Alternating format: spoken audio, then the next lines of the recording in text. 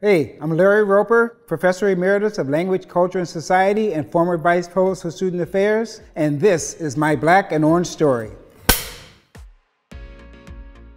When I went to college, I never spent a night away from home. And I arrived early because I was playing football. So I was on my residence hall floor and I was in this room by myself. There was nobody around and I was just alone with my thoughts. And when I lay down at night and try to go to sleep, I can hear crickets and I can hear the birds. And I can actually hear the leaves on the trees moving. I'm used to hearing sirens and horns honking and loud music and glass breaking and all of that quiet is scary. But fortunately, at the seven week mark, they sent us a report card. I had 0.75. And that's when the dean called me in he said, Larry, seems like you're having some challenges. How can I be helpful? And that's when my relationship with the Dean of Students formed. This person who was just so caring and nurturing and non-judgmental. He didn't ask me, you know, like, what's your problem?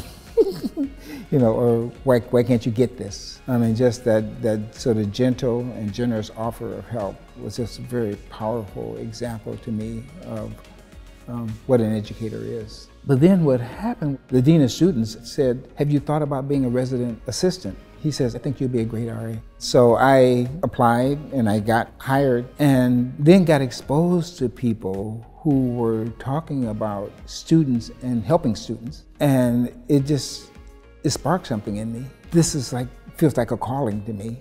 This feels like something that I was really meant to do. One of the things that we would do at OSU, we would have fireside chats at the beginning of the year for students who are enrolled in our transitions classes. And so what I would say is I want all of you to get out your phones or write it down, but I'm going to give you my direct phone number. And at any time you start to doubt yourself or you start to feel like you can't make it here, I need you to call me because I will spend some time with you and I will remind you of how incredibly brilliant you are and how worthy you are of your wildest dreams. And amazing the number of students who call me. Is a reminder that if we slow down and we pay attention to what's happening around us, we can watch miracles unfold. It's just a beautiful place to be able to be when you get to see people's dreams realized or dreams formulated that they hadn't had before, and then to watch people invest in them. And again, be, get to be company with them as they work to achieve their dreams.